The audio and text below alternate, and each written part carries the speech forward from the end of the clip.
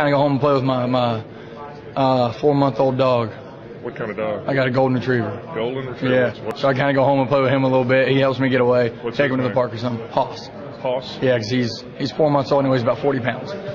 Yeah.